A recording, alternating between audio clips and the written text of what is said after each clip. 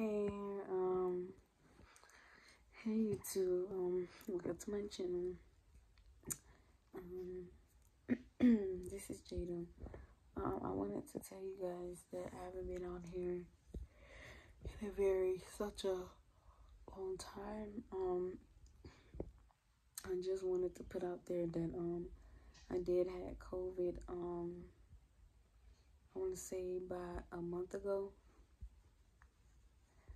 COVID and um I didn't have any symptoms or nothing, but you know, I just had COVID.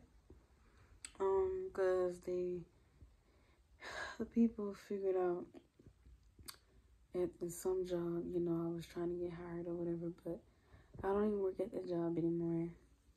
So, but anyway, long story short, um,